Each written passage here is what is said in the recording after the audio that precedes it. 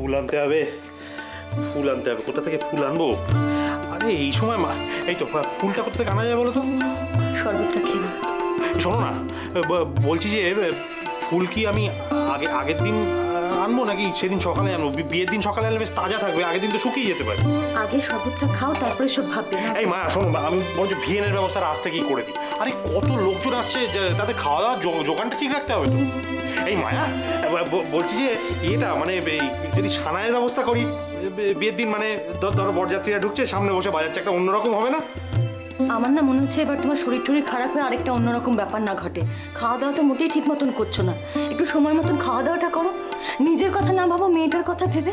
বিয়ের সময় তো শরীরটা তোমার ঠিক রাখতে হবে নাকি? ও এক গেলা শরবত খাওয়া বলে কত কথা। দাও দাও দাও দাও। কি যে গো? নীলকণ্ঠ।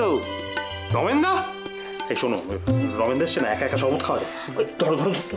হ্যাঁ বলো বলো বলো। হ্যাঁ হ্যাঁ শোনো না। ওই মাছ মাংস তরি তরকারি এগুলো সব বায়না হয়ে গেছে। বুঝলে তো? যাক তাহলে নিশ্চিন্ত হওয়া গেল। হ্যাঁ। আর? আর এখন তাহলে ওই তক্তপোষ আর শতরঞ্চি ও ওগুলো বায়নাটা আমি করে আছি। হ্যাঁ? রমেনদা তুমি তো আমার অর্ধেক কাজই করে দিচ্ছ তুমি যে কি নিশ্চিন্ত করেছ আমাকে দাঁড়াও দাঁড়াও দাঁড়াও দাঁড়াও। এক মিনিট দাঁড়াও দেখি। শোনো এই টাকাগুলো রাখো তারপর যা লাগবে বাকি আবার আবার চাইবে আমার না কি? টাকা আরে ধরো তো কি আরে শোনো শোনো শোনো শোনো কি করছ কি? কি- কি করছ? শোনো শোনো নীলকণ্ঠ।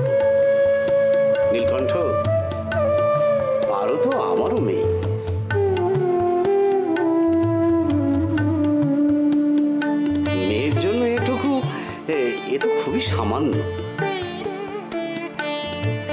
তু- তুমি না বড্ড ইয়ে। এক গাদা কাজ পড়ে রয়েছে। তুমি মাঝখান থেকে কি সব বলে সব গুলিয়ে দিলে। আমি এখন আসছি। আরে শোনো।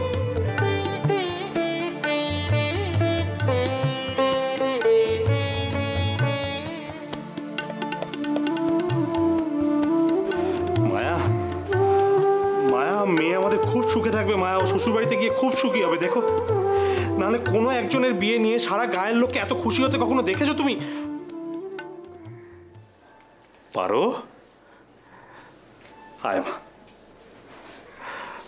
আয়।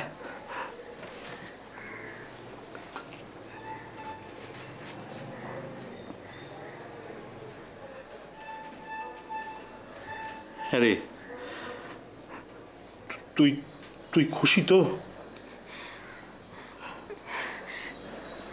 তোমরা এত খুশি। গ্রামের সবাই এত খুশি। আর আমি খুশি থাকব না।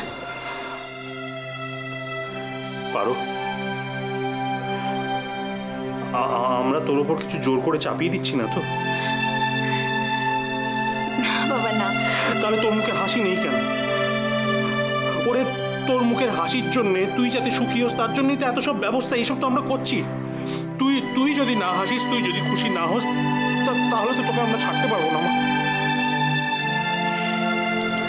এই তো আমি এসেছি। দেখো তুমি মা তোমরা ভালো বুঝে আমার জন্য যা ঠিক করবে আমি জানি। তার থেকে বড় সিদ্ধান্ত আর কিচ্ছু হতে পারে না। মায়া মায়া হেসেছে পারো। তোমার মেয়ে হেসেছে। আমার বুকের উপর থেকে একটা পাথর সরে গেল বিশ্বাস করো। ও বোধহয় কিছু বলতে এসেছিল। নিজের বুকের পাথর সরাতে গিয়ে তো ওকে বলতেই দিলে না। না মানে কিছু বলবি?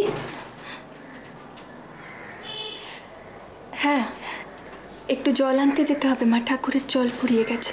ও ঠাকুরের জল পুড়িয়ে গেছে?